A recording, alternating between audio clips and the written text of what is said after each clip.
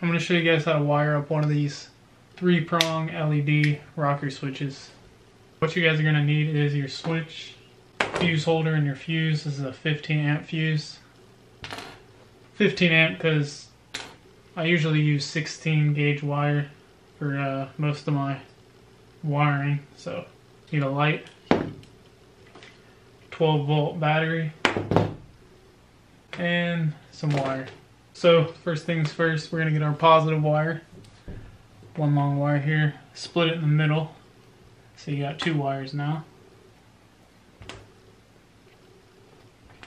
Then we're gonna go ahead and get our fuse here. Attach one of the wires on this side and the other wire on this side. They just got a long wire with a fuse in the middle get our 12 volt battery here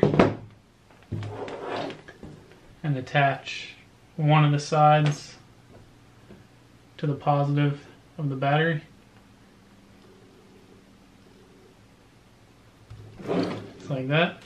Alright, so we got our battery positive going through the wire, through the fuse, coming out right here. So we're going to go ahead and get our switch. On the switch it says earth, load and supply.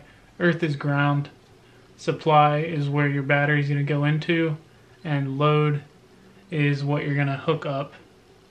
Like if you're going to put a light or something on there so go ahead and get this positive and attach it to the supply.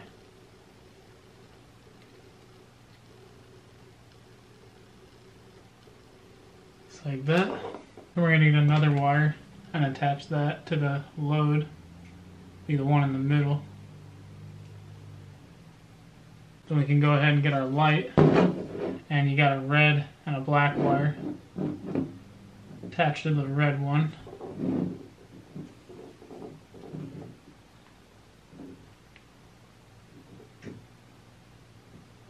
Now all we got to do is get the negative coming out of the battery and attach it to the negative coming out of the light.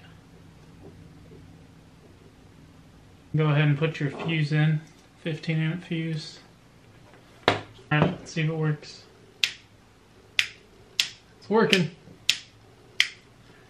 The one thing though is, only thing is, this LED light right here on the switch is not indicating that the switch is on. You don't have to wire that thing up, but if you do want the light to be shining on there, all you got to do is go ahead and get another wire and attach it to earth on the switch, the ground.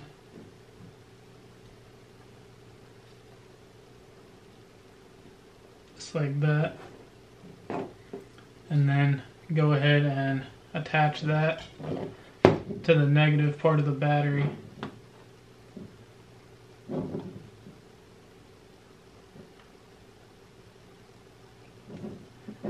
Just attached it right there.